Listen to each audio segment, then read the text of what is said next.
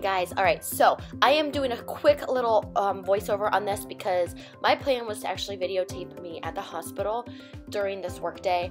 That did not happen. So I was just wanted to go over exactly kind of what I did um, every morning before I go to the hospital. Um, and this is pretty much it, guys. I already have my meals prepped um, in my little containers, ready to go. Um, usually I will do a shake in the morning. Um, I will have a few fresh meals. Uh, you'll notice that I had cucumber and almond butter in there as well. And then I'm just making my hot tea, I grab my vitamins, and I am on my way. One of the biggest questions that I know you guys always ask me um, when I do have the, my totes in the videos, this is by Fit Essentials. Um, I have a Sophie tote and a Selena tote, guys. I absolutely love them. The details are in the description box if you guys want to go get one. Now we are moving on to the fabulous home version ultimate booty lower body workout, guys. This one, no equipment is required other, other than an elevated surface.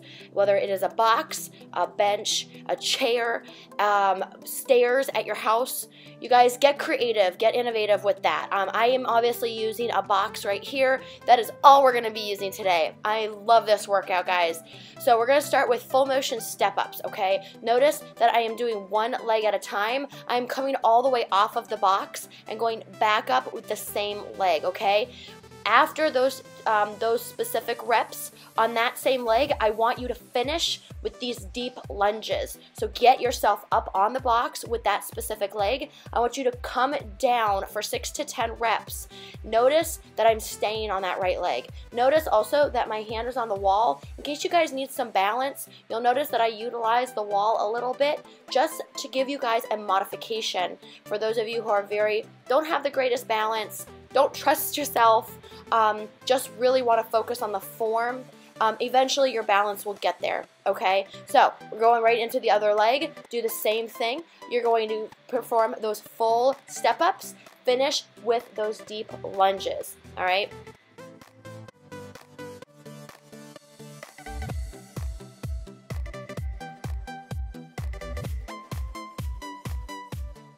We are going to move on to our second version of step ups. This is our curtsy step up, okay, with the lateral kick out.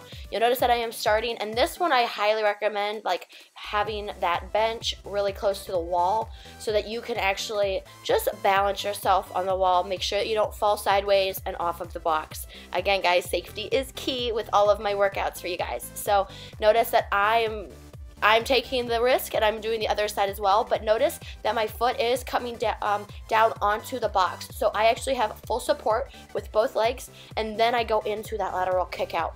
You're welcome to do it that way as well or use the wall as some support okay? This one, push up through your, your heel that is on the box, really engage that glute and the leg. You're gonna be working the lower legs as well, okay? Hamstrings, quads, outer thighs, all of it with these first exercises.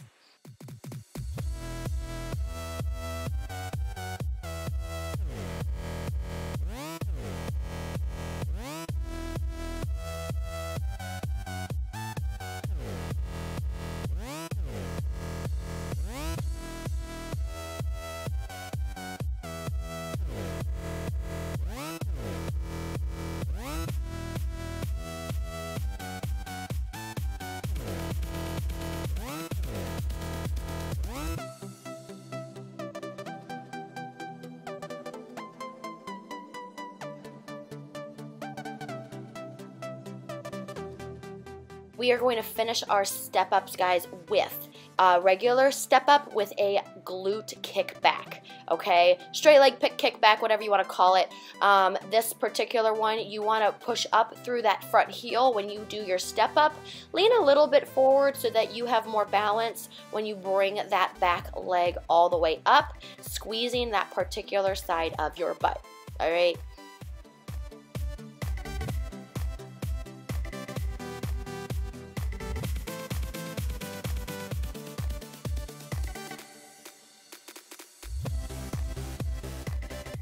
All right, you guys have seen this one. Um, I've done this many times. This one is beautiful for your quadriceps. This is the front of your thighs, guys.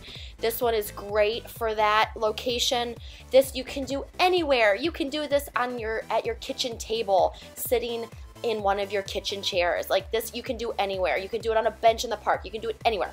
So obviously, the lower you go down, the more difficult it will be for you. So if you need to start with a higher bench, a higher seat, go for it, but definitely make it challenging, okay? If you have a problem with balance, grab that wall. Well, don't even, don't grab it, you know, you know what I mean. You want to balance on that wall just with a hand, just a little bit so that you don't have to worry about falling um, getting getting off form, getting off balance. Okay, so this one again, so so good. I do finish this particular exercise with some pulses that you are going to see here in very very shortly. This one with pulses, guys, you're not coming all the way up. You're pretty much engaging the quads the entire time. With pulses, you only come up like either a half to a fourth of the way and it really keeps all that tension right here. It keeps all that tension on that quadricep that you are working. It burns, guys. Finish off every set with uh, 5 to 10 of these pulses, all right?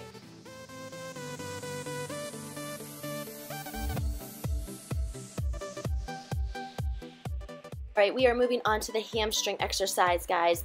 If you do not know where the hamstrings are, it is the back of the leg, the back of the thigh, okay? This will give you the nice swoop um, in the back of the leg under the butt. Um, you want to make sure that you're working your hamstrings just as much as you are working your quads. Um, I know that some people are hamstring or quad dominant, but the, the problem here is that you need to have enough, a nice balance between the muscles. Otherwise, one one muscle will compensate for the other, okay? So really focus on working both quads and hamstrings. Um, this one is the Bulgarian split squat, guys. One of my favorites. You've seen it a lot, I'm sure. Uh, this one, again, you can use the wall if you need extra balance since you're pretty much on one leg at a time. You can also finish with pulses for each set. Really engage that hamstring finishing off with some amazing hip thrusts. Some body weight, guys. If you have a dumbbell, if you have a baby and you want to add it to your hips to add some extra weight, extra challenge, go for it. Um, this one, we are doing body weight hip thrusts to begin. This is with both feet on the floor. You're going to push up.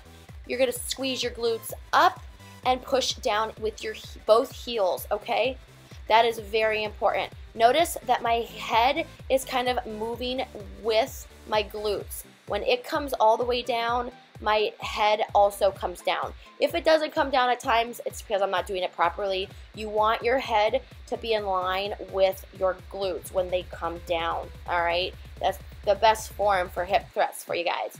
We're moving in from the double leg to single legs, guys. Notice that my hands are actually outward. This is helping me with balance on my own. So if you guys need help with balance, if you guys really want to try these single leg hip thrusts, they are amazing. But sometimes you do need a little bit of extra help. So my hands are kind of off, off side of the box to help my balance and coordination. After the single legs, I want you to hold this, hold this, squeeze your glutes 30 seconds. I hope you guys love this workout. I will see you in the next one.